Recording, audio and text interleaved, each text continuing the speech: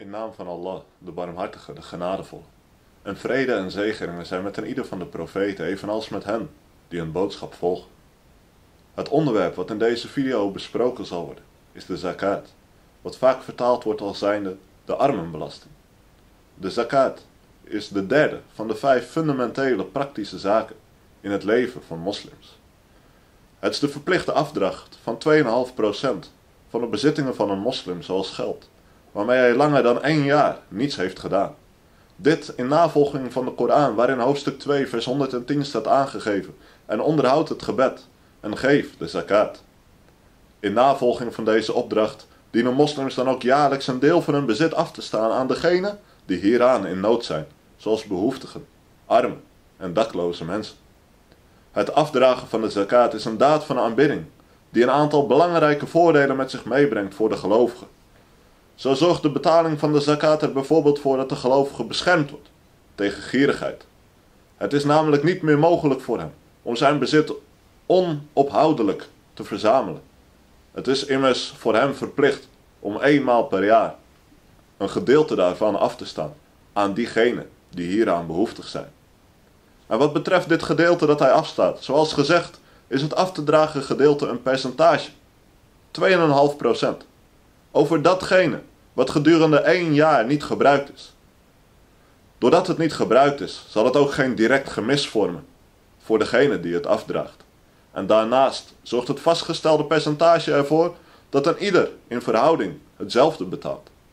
Hierin is daardoor geen nadeel voor hen die meer bezitten, omdat zij, omdat zij toevallig meer rijkdom bezitten, ook meer moeten afdragen.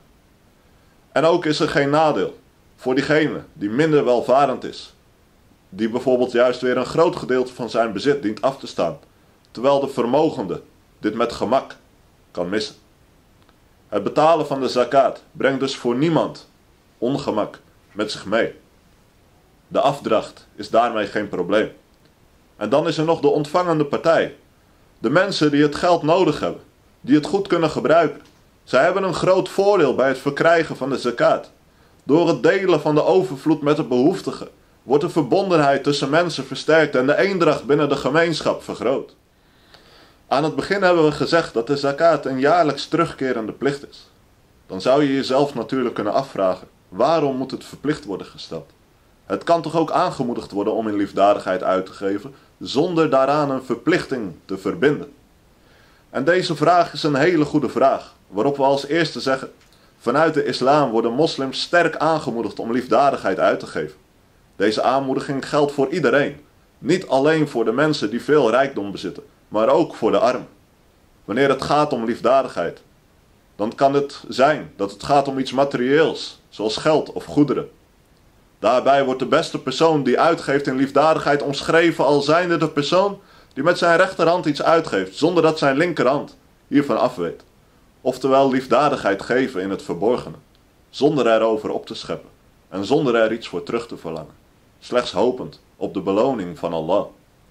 Daarnaast is er de immateriële liefdadigheid, waaronder bijvoorbeeld wordt gerekend het behulpzaam zijn tegenover anderen, het glimlachen naar een persoon of het simpelweg groeten van iemand die je tegenkomt, of je hem nu kent of niet kent.